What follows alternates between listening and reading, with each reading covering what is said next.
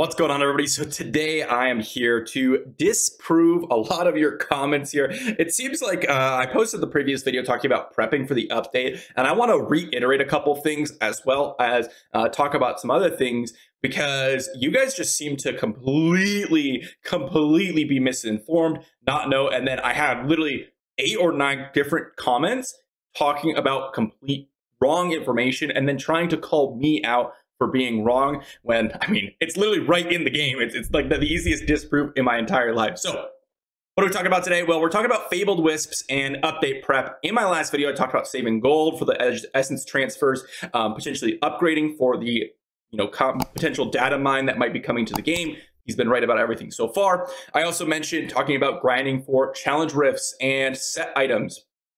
Then in that, I talked about Fabled Wisps and how Hell 6 might be coming because it looks like new Paragon trees could be coming to the game, which is very, very important. And if new Paragon trees come to the game, level cap increases, which means that, well, we're going to need Hell 6, most likely, right? Because our um, Hell 5 only goes up to level 600.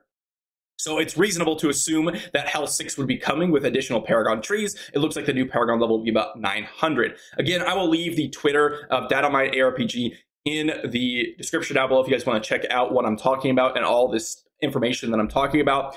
But within this, I talked about grinding set items for Hell 5 to prep for the update and presumably Hell 6. And just to give you an idea here, I'm going to hop over to my other video. You can see this video was the Save Your Gold. Got an ad on my video.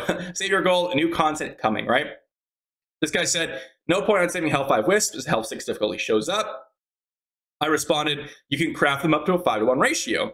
Um, and then this guy said, no, you can only trade Hell 6 Wisp times 5 for a Hell 6 piece. Ha ha, it's called Wisp 5, 5 for some reason. Hell 6, you only need Wisp 6. And you can't even trade 5 Wisp 4 to Wisp 5.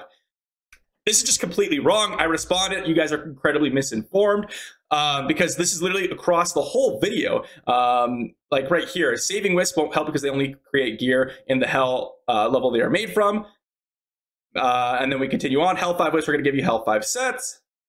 Uh, the reason I said unsubscribe is inaccurate data wisp for locked to hell level. If I save them in hell 5, then you'll be able to craft hell 5 greens only. Upgrading Legos not priority because, uh, and it continues on. Um, do your homework before confusing people. Guys, this is literally a five hour old video as of recording this, and I have this many comments talking about complete wrong information.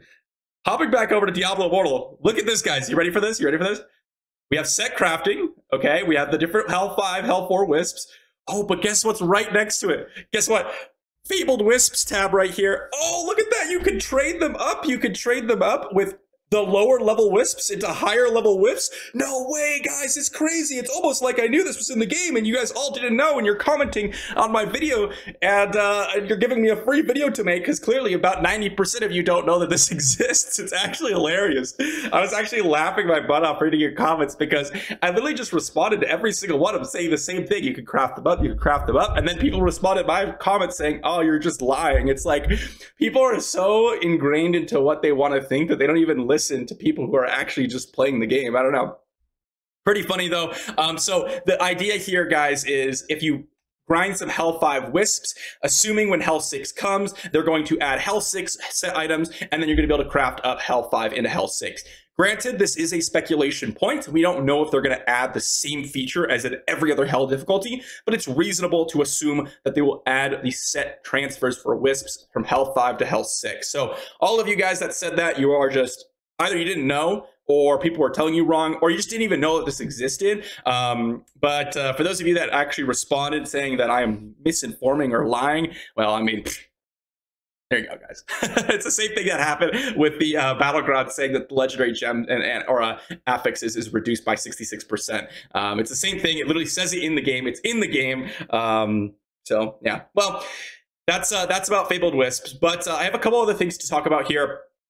Uh, because we also have, let me see here if I tab back over, a couple more comments I wanted to respond to, uh, just just for fun here because I'm already talked about, and then also a few other things.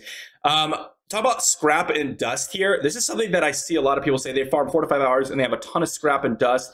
Um, and then some people say that it's hard to get to the challenge rifts and max challenge rift and gear, green gear, which of course would be, um, you know, level 10 secondary stats, getting a bunch of enigmatic crystals, dust, um, and, and, stuff like that. So um, that's incredibly, incredibly important. And along that note, you can see um, down here, you have resource issues because you don't use Treasure Hunter. So I would absolutely recommend everyone use Treasure Hunter for sure. And that goes along with getting scrap and dust and maxing off your set pieces. You can see here, literally four months ago, I posted a video, Stop This Nonsense, Treasure Hunter is amazing. Looks like everyone is coming around to me now, even though I said this literally four months ago. Um, so you know, another uh, comment disprove. It's like I'm literally sitting here and, and uh, I don't know what happened, uh, but my whole audience just thinks I'm uh, uh, just uh, lying. I guess I am at this point. You know, it is what it is, but it, it gives me some free videos to talk about.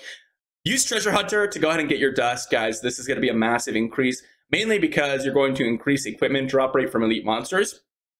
Then on top of that, we're going to increase that even further to 75%. This is going to massively increase the amount of dust you acquire. So very, very increased gain for resources there.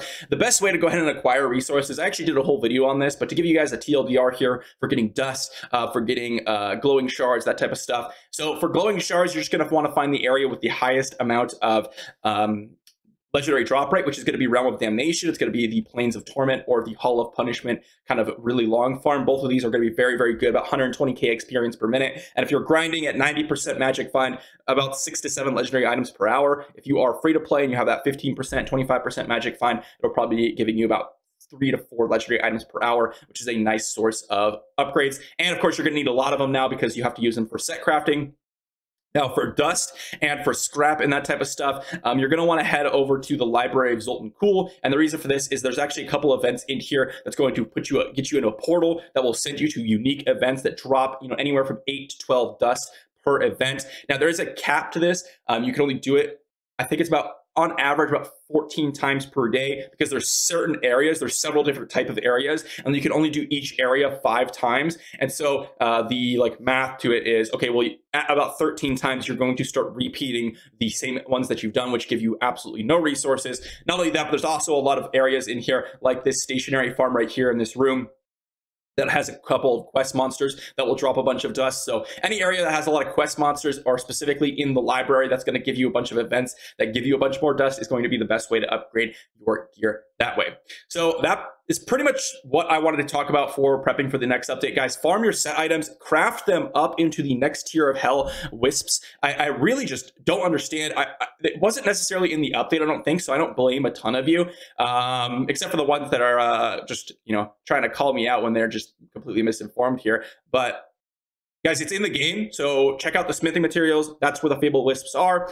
Also, one other thing here, there's a lot of people joining the servers. There's a lot of people asking. I've had a, like three or four people message me on Discord say, hey, what's up with your server? I'm considering transferring, but I'm not convinced. So I wanted to just set, let this out for anyone that's watched this point. You guys probably are uh, some of the more dedicated viewers. So I appreciate you all uh, reaching to the end of the video. And I want to mention, we are just about to kind of head out of our immortal reign. We just merged server merged last week, which means there's going to be a ton of clans here with a lot of 5k resonance players. I personally am not a 5k resonance player. I'm a pretty, pretty small fry in this server. There's a lot of people with 5k plus resonance. So uh, what we're doing with the clan here is obviously we show up to the events as much best as we can. And in Aftershock, we were tryharding for a while there uh, at the beginning of the server launch. We are still playing the game regularly and we still have a lot of active members. And that's pretty much what we're looking for is a lot of people that just play the game. So if you're interested in that, you want to join the clan, um, you want to come and, and hang out with me, with Darth, because uh, we do have Darth in the clan also chosen um, a couple other people like we got DM in here. So if you guys watch DM's content as well, he and I oftentimes, uh, you know, are in the same ship farm groups, running dungeons or whatever. Uh, we oftentimes do a lot of that same time. So if you guys want to join the clan and hang out with Darth and I, um, we really love seeing you all guys, you guys all in game saying, "Hey, what's up?" Like I watch your content. It's actually it means a lot to us, um, especially to me. At least I, I, can't speak for Darth, but I know that uh, those type of comments mean a thousand rude or, or misinforming comments. Um, you know that it, it really does mean a lot. So I appreciate all of you. And if you guys want to join the clan, we have a lot of spots available um, for people who were kind of inactive during the Immortal Reign. You know, that's kind of what happens. You play an Immortal Reign and then people go inactive after a couple of weeks. So we have some spots opening up if you want to join and hang out with us. So that's pretty much the end of the video, guys. Thanks for watching up to this point. If you guys enjoyed, be sure to like the video, sub to the channel. Craft your set items. Don't forget about it. And let everyone know that doesn't know that because clearly 90% of people don't know that. go ahead and let them know that you can craft your set items. And I'll see you tomorrow.